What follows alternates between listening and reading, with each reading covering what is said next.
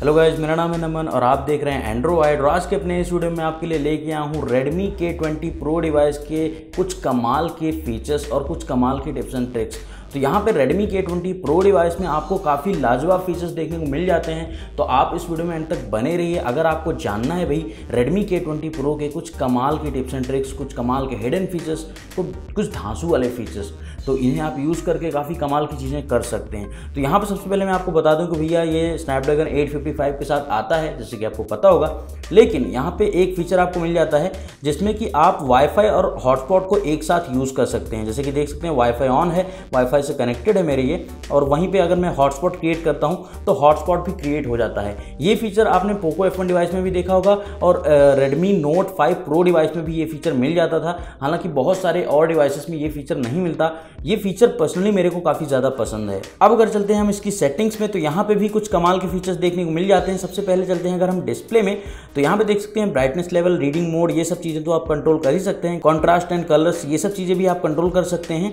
लेकिन यहाँ पे आपको मिल जाता है एंटी फ्लिकर मोड ये काफ़ी कमाल का फीचर लगा मेरे को। जैसे कि मैं यहाँ पे अभी वीडियो शूट कर रहा हूँ तो देख सकते हैं कि यहाँ पे मेरी स्क्रीन पे कोई भी फ्लिकर देखने को नहीं मिलता। और जैसे ही मैं इसे डिसेबल करता हूँ, देख सकते हैं स्क्रीन पे फ्लिकर देखने को मिलता है। इसी तरह ये फ्लिकर होता है इसमें और ये हमारी आँखों को थोड़ा नुकसान करता है। तो इसे अगर आप इनेबल कर रखते हैं तो आपकी आँखों के लिए काफ़ी अच्छा रहेगा। लेकिन एंटी फ्लिकर मोड में जो चीज़ें आपको दिख रही हैं, उसकी क्वालिटी थोड़ा सा अफेक्ट हो सकती है। यानी कि जो भी चीज़ें आप देख रहे हैं इसके ऊपर, वो थोड़ा सा आपको कम अच्छी दिखेगी। लेकिन ओवरऑल ये आपकी आँखों पर कोई नुकसान नहीं देगा और वीडियोज़ अगर आप शूट करते हैं तो ये मोड मस्ट आप ऑन करके ही रखिए। साथ में यहाँ पे आपको डार्क मोड भी देखने को मिल जाता है। जैसे कि आपको पता होगा कि यहाँ पे एमोलेड डिस्प्ले मिल जाता है। तो जैसे ही हमने डार्क मोड इनेबल किया, यहाँ पे सिस्टम वाइड तो नहीं, लेकिन बहुत सारे ऐप्स में डार्क मोड इनेबल हो चुका है। ये शॉमी की तरफ़ से आने वाला फीचर है मी के अंदर जो मिलता है आपको।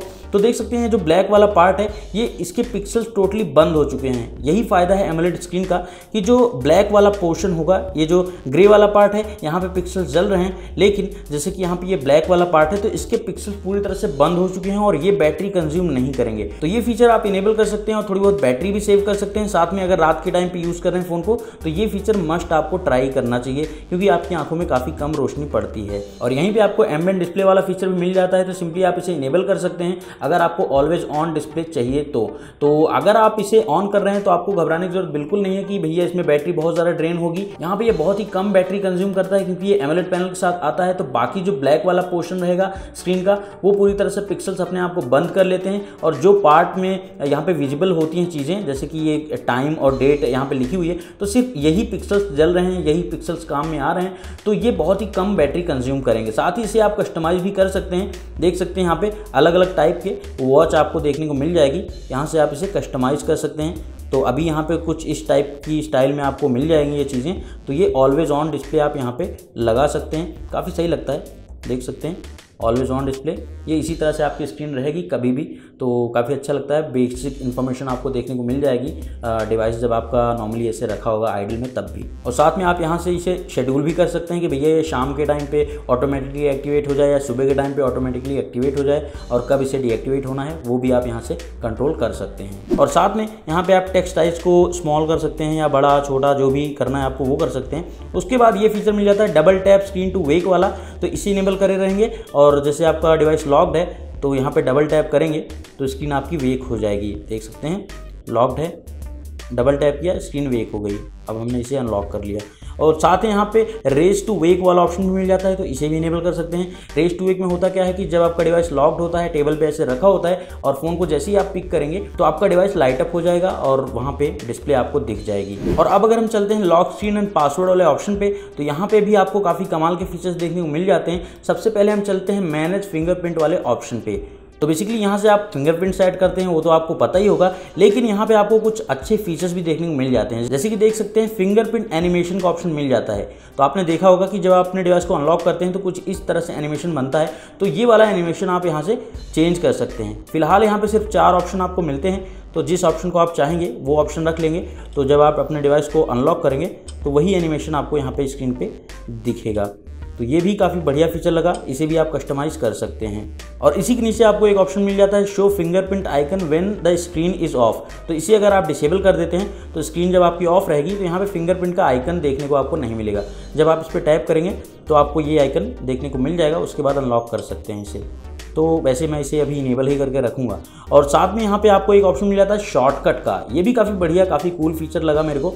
तो जैसे आपके डिवाइस में फिंगरप्रिंट इनेबल्ड है तो इसे अगर आप फिंगरप्रिंट शॉर्टकट वाले ऑप्शन को इनेबल करके रखते हैं तो उसके बाद कुछ शॉर्टकट्स को आप एक्सेस कर सकते हैं। उसके लिए क्या करना होगा सिंपली डिवाइस को ऐसे क्लिक एंड होल्ड करके रखना होगा। उसके बाद किस तरफ़ भी स्वाइप करेंगे तो ये कुछ तीन ऑप्शन आपको देखने को मिल जाएँगे। और जिस पे आप छोड़ देंगे, वही ऑप्शन यहाँ पे हो जाएगा। एड इवेंट सर्च और यहाँ पे क्यू आर कोड स्कैनर का ऑप्शन मिल जाता है। तो ये ऑप्शन आप यहाँ से डायरेक्टली कंट्रोल कर सकते हैं। जैसे कि देख सकते हैं, इस पर प्रेस होल्ड करके रखा और मैंने किधर भी किया मूव इसे तो इस तरह से ये ऑप्शन इनेबल हो जाता है। तो इस वाले ऑप्शन को भी आप इनेबल करके रख सकते हैं, काफ़ी सही ऑप्शन है। और साथ में यहाँ पे आपको wake lock screen for notification का ऑप्शन मिल जाता है तो इसे भी इनेबल कर सकते हैं, सही रहेगा। और यहाँ पे एडवांस सेटिंग्स का ऑप्शन मिल जाता है, इसके अंदर आप जाके लॉक स्क्रीन का क्लॉक फॉर्मेट चेंज कर सकते हैं। जैसे कि देख सकते हैं लॉक स्क्रीन का फॉर्मेट कुछ इस तरह से है तो इसे आप यहाँ से कस्टमाइज कर सकते हैं। और साथ ही यहीं पे आपको पॉकेट मोड भी मिल जाता है। तो इसे इनेबल करके रखिए, क्योंकि कई बार होता है पॉकेट में रखा रहता है, उसके बाद भी चीज़ें हो जाती हैं क्लिक हो जाती हैं बटन्स तो इसे आप इनेबल करके रखेंगे तो सही रहेगा। अब यहाँ पे अगर हम बढ़ते हैं नोटिफिकेशन स्टेटस बार वाले ऑप्शन पे तो यहाँ पे देख सकते हैं सबसे पहला ऑप्शन आपको मिल जाता है शो नोटिफिकेशन आइकन्स तो अगर आप इसे डिसेबल कर देते हैं तो यहाँ पे स्टेटस बार में आपको कोई भी नोटिफिकेशंस के आइकन देखने को नहीं मिलेंगे। जो स्टेटस बार है आपका, वो एकदम खाली मिलेगा। तो इसे आप इनेबल करके रख सकते हैं। डिसेबल आपकी पर्सनल प्रेफरेंस पर डिपेंड करता है। श्योर कनेक्शन स्पीड यानी कि अगर आपको रियल टाइम नेटवर्क स्पीड देखनी है भैया कितनी स्पीड आ रही है आपको यहाँ पे इंटरनेट की तो वो आप देख सकते हैं इसे इनेबल करके। और साथ में यहाँ पे बैटरी इंडिकेटर में आप परसेंटेज शो कर सकते हैं। अगर आपको परसेंटेज में देखने में अच्छी लगती है तो बैटरी परसेंटेज यहाँ पे शो होता रहेगा। और अगर हम चलते हैं इसके फुल स्क्रीन डिस्प्ले में। तो जैसे कि आपको पता होगा कि यहाँ पे आप चूज़ कर सकते हैं भैया आपको नेविगेशन कीज यूज़ करनी है या फिर आपको फुल स्क्रीन जेस्टर्स यूज़ करने हैं। तो मैं पर्सनली फुल स्क्रीन जेस्टर्स को यूज़ करता हूँ और यहाँ पे भी कुछ ऑप्शंस आपको देखने को मिल जाते हैं। इसे भी इनेबल या डिसेबल कर सकते हैं। तो सिंपली आप यहाँ से स्वाइप अप करेंगे तो आप होम पे चले जाएँगे। और अगर आप स्वाइप अप करके होल्ड करेंगे तो आप रिसेंट मेन्यू पे चले जाएँगे। और अगर आप किसी ऐप के अंदर हैं तो चाहे लेफ़्ट से, चाहे राइट से स्वाइप करेंगे तो आप बैक में चले जाएँगे। और साथ में अगर आप go back to previous app वाला ऑप्शन इनेबल करके रखेंगे, उसके बाद ऐसे स्वाइप प्लस होल्ड करेंगे तो प्रीवियस वाली ऐप पर चले जाएँगे बहुत ही आसानी से। तो ये फीचर मैं यूज़ करता हूँ, मुझे काफ़ी सही लगता है। और यहाँ पे अगर हम चलते हैं इसकी एडिशनल सेटिंग्स के अंदर तो यहाँ पे आपको काफ़ी लाजवाब फीचर देखने को मिल जाएगा। जैसे कि यहाँ पे सबसे पहला फीचर जो काफ़ी कमाल लगा मुझे, वो था फ्रंट कैमरा इफ़ेक्ट तो जैसे ये डिवाइस मेरे पास आया तो यार इसमें देखा कि मैंने फ्रंट कैमरा जब ओपन करते हैं पॉपअप कैमरा निकलता है तो वहाँ पे लाइट जलती थी मैंने सोचा, यार लाइट कैसे बंद होगी? और इसमें साउंड भी आता था तो वो कैसे बंद होगा? तो आप यहाँ से इनेबल या डिसेबल कर सकते हैं या फिर कस्टमाइज़ कर सकते हैं। देख सकते हैं कि यहाँ पे विजुअल इफ़ेक्ट का ऑप्शन मिल जाता है साउंड इफ़ेक्ट का ऑप्शन मिल जाता है। यानी कि जो लाइट जलती है आपके कैमरा में पॉपअप कैमरा में, वो और साउंड इफ़ेक्ट जो होता है, उसे आप कस्टमाइज़ कर सकते हैं। जैसे कि देख सकते हैं आप ये जब कैमरा पॉप करता है तो उस टाइम पे क्या साउंड आएगा, यहाँ से चूज़ कर सकते हैं। और साथ में अगर आपको इसे पहले मैं दिखा देता हूँ आपको, देख सकते हैं कि अगर कैमरा में गया मैं और देख सकते हैं यहाँ पे लाइट जली और साउंड भी आया। फिर से लाइट जली साउंड भी आया। तो अगर आप इसे डिसेबल कर देते हैं सपोज़ दोनों चीज़ों को तो उसके बाद जब हम कैमरा में जाएँगे ना तो साउंड आया, ना तो लाइट जली। तो इस चीज़ को आप ऑफ़ ऑन और कस्टमाइज़ भी कर सकते हैं। अब इसे ऑन कर देते हैं क्योंकि मेरे को मज़ा आता है थोड़ा सा और साथ में यहाँ पे आपको नोटिफिकेशन लाइट का ऑप्शन भी मिल जाता है। तो इसे भी आप ऑन ऑफ़ कर सकते हैं यहाँ से।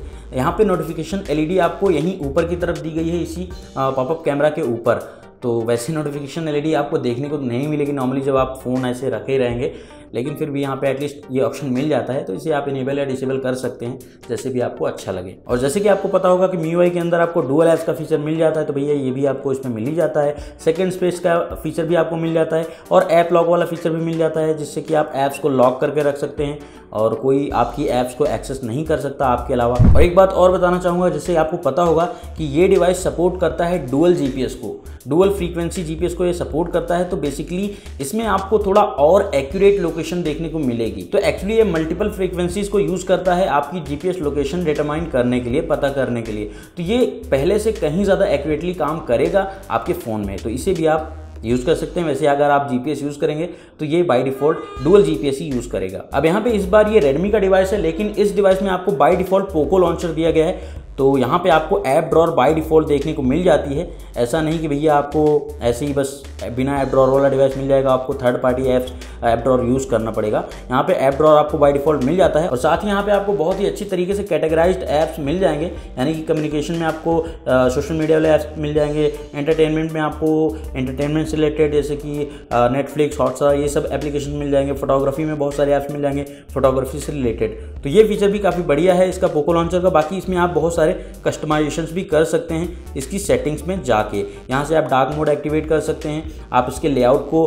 कस्टमाइज़ कर सकते हैं। और साथ में नोटिफिकेशन बैजेस किस तरह के चाहिए, वो भी आप यहाँ से कस्टमाइज़ कर सकते हैं। और double tap to lock screen वाला ऑप्शन भी मिल जाता है तो इसे भी आप इनेबल करके और स्क्रीन पर रहते हुए कहीं भी डबल टैप करेंगे तो स्क्रीन आपकी लॉक हो जाएगी। और इस डिवाइस में आपको ऑटोमेटिक कॉल रिकॉर्डिंग का फीचर बाई डिफ़ॉल्ट मिल जाता है, इसके लिए कोई भी थर्ड पार्टी ऐप यूज़ करने की ज़रूरत नहीं पड़ेगी आपको। तो इसके लिए सिंपली आपको डायलर ऐप में जाना है, उसके बाद उसकी सेटिंग्स में जाना है, उसके बाद देख सकते हैं कॉल रिकॉर्डिंग का ऑप्शन मिल जाएगा। तो इसे आप ऑन करके रख सकते हैं।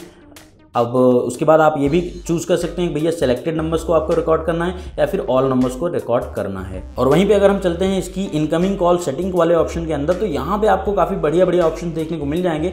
जैसे कि देख सकते हैं फ्लिप टू साइलेंस रिंगर तो इसे इनेबल करके रखेंगे अगर आपके डिवाइस में किसी का फ़ोन आता है और उसके बाद फ़ोन को आप ऐसे फ्लिप कर देंगे तो आपका डिवाइस यहाँ पे साइलेंट हो जाएगा। और साथ में फ्लैश वैन रिंगिंग वाला ऑप्शन भी है, अगर आप इसे इनेबल कर देंगे तो जब किसी की कॉल आएगी तो यहाँ पे आपका डिवाइस फ्लैश करेगा। और भी कुछ ऑप्शन मिल जाते हैं तो इन्हें भी आप चेक कर सकते हैं। अब जैसे कि आपको पता होगा कि Xiaomi के ज़्यादातर डिवाइसेस में आपको गेम टर्बो का फीचर मिल जाता है, जो कि काफ़ी बढ़िया है। तो इस डिवाइस में भी आपको गेम टर्बो फीचर मिल जाता है। सिक्योरिटी ऐप के अंदर आप जाके यहाँ पे गेम स्पीड बूस्टर वाले ऐप को एक्सेस कर सकते हैं।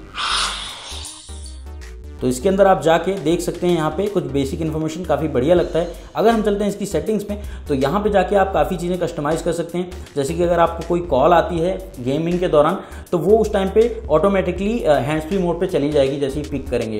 तो गेम में आपको कोई इशू नहीं आएगा और गेम के दौरान कोई अगर नोटिफिकेशन भी आती है तो वो भी आप यहाँ से कंट्रोल कर सकते हैं। तो अगर आप इसे इनेबल कर रखते हैं तो आपका गेमिंग एक्सपीरियंस काफ़ी कमाल का होने वाला है। यहाँ पे बेसिकली ये क्या करता है कि जो और ऐप बैकग्राउंड में चल रहे होते हैं, उनके सी और जी के कनेक्शन को एक तरह से काट देता है या कम कर देता है और ज़्यादा से ज़्यादा पावर आपके गेमिंग को देता है, आपके गेम को देता है तो आपका गेमिंग एक्सपीरियंस काफ़ी बढ़िया हो जाता है। अगर हम चलते हैं यहाँ पे इसकी एडिशनल सेटिंग्स में तो देख सकते हैं पबजी मोबाइल यहाँ पे लिस्टेड है तो उसके बाद यहाँ पे देख सकते हैं टच सेंसिटिविटी टच रिस्पॉन्स आप यहाँ से कंट्रोल कर सकते हैं और बाकी चीज़ें यहाँ से कंट्रोल कर सकते हैं कि कितने पोर्शन में आप टच करेंगे तो वर्क ना करे, यानी टच वहाँ पे काम ना करे, इसे आप बढ़ा सकते हैं या फिर घटा भी सकते हैं।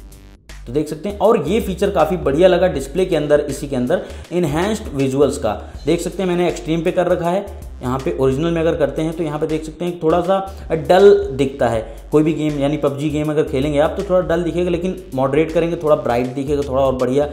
ये देख सकते हैं स्ट्रॉन्ग किया तो थोड़ा और पंचर कलर्स देखने को मिल रहे हैं और एक्सट्रीम में कर दिया तो और कमाल के कलर्स देखने को मिलते हैं पबजी गेम प्ले के दौरान। जैसे कि आपको पता होगा कि हमारे Redmi K twenty Pro device में PUBG H D R setting पर चलता है एच डी आर सेटिंग पे और एक्सट्रीम ग्राफिक पे चलता है। तो वहाँ पे आपको काफ़ी कमाल का एक्सपीरियंस मिल जाएगा। काफ़ी बढ़िया डायनेमिक रेंज मिलती है आपको उस गेम प्ले के दौरान और बहुत कमाल की डिटेल्स और फ्रेम रेट देखने को मिल जाते हैं। और यहाँ पे गेम प्ले के दौरान अगर आप इस तरफ़ स्वाइप करेंगे तो देख सकते हैं, यहाँ पे आपको काफ़ी डिटेल्स मिल जाती हैं। ऐप्स को भी आप एक्सेस कर सकते हैं और स्क्रीन रिकॉर्डिंग यहीं से इनेबल कर सकते हैं स्क्रीन कैप्चर कर सकते हैं। और साथ में आप यहाँ पर देख सकते हैं कि गेम के दौरान आपका एफपीएस क्या है।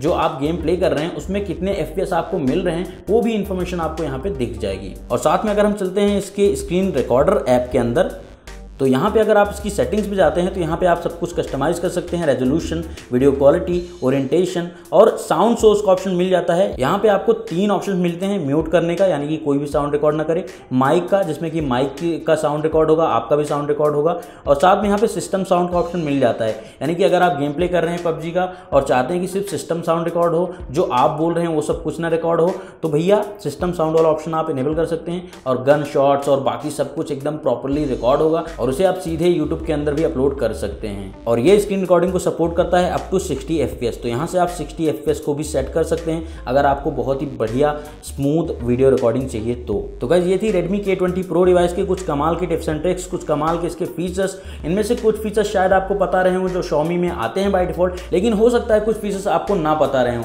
और बाकी अगर आपको कोई और टिप्स एंड ट्रिक्स पता है इस डिवाइस से रिलेटेड तो वो भी आप मेरे साथ शेयर कर सकते हैं कॉमेंट करके। तो अगर आपको ये वीडियो हेल्पफुल लगा हो तो इस वीडियो को लाइक करना करना शेयर करना और चैनल को सब्सक्राइब करना बिल्कुल भी ना भूलें। बाकी यहाँ पे मैं के ट्वेंटी प्रो डिवाइस से रिलेटेड बहुत सारी वीडियोज़ आपके लिए लेके आता रहूँगा तो चैनल को सब्सक्राइब ज़रूर कर लीजिए और बहुत जल्द मैं के ट्वेंटी प्रो डिवाइस के कैमरा की टिप्स एंड ट्रिक्स भी लेके आने वाला हूँ। तो चैनल पर बने रहिए वीडियोस देखते रहिए और अपना प्यार और सपोर्ट ऐसे ही बनाए रखिए एंड्रो वाइड के लिए। बाकी अगर आपको वीडियो अच्छी लगी हो तो लाइक करिए शेयर करिए कॉमेंट करिए। चैनल सब्सक्राइब करना बिल्कुल मत भूलिए। थैंक फॉर वॉचिंग वीडियो मिलते हैं नेक्स्ट वीडियो में।